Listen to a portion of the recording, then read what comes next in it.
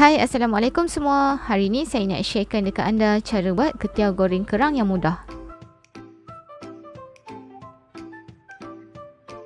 Okey, jom kita mula. Langkah pertama, buka api dahulu. Masukkan sedikit minyak masak untuk menggoreng.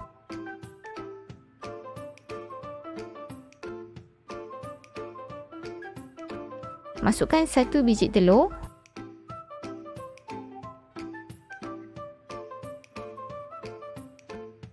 Gaul bagi hancur.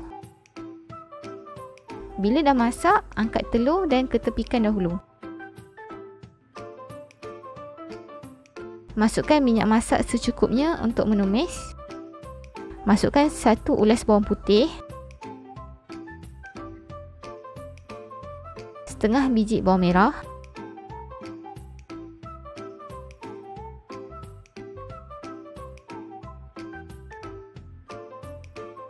Masukkan satu sudu besar cili giling. Yang ini saya menggunakan jenama puteri.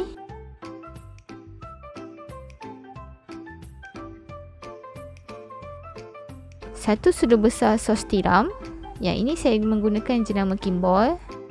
Satu sudu besar kicap manis. Yang ini saya menggunakan kicap kipas udang. Satu sudu besar kicap pekat. Yang ini saya menggunakan jenama jalin.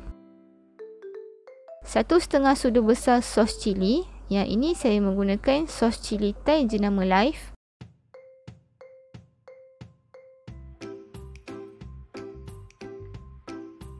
Bila dah menggelegak, masukkan setengah pek ketiau. Ketiau ni saya dah siap basuh dan tuskan.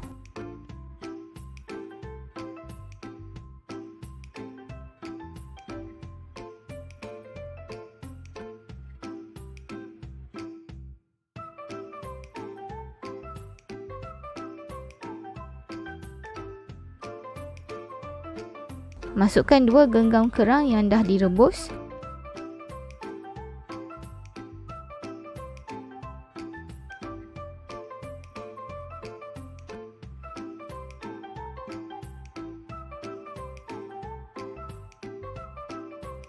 Masukkan telur yang kita masak tadi. Masukkan satu genggam daun kucai. Satu genggam tauge.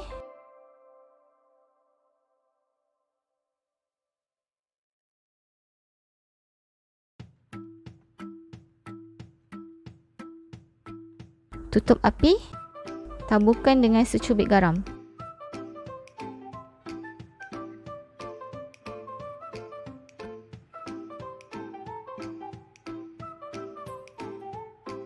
Okey dah siap. Jika anda baru kali pertama menonton video di channel Sistemnya, boleh tekan butang subscribe dan tekan butang loceng di sebelah kanan.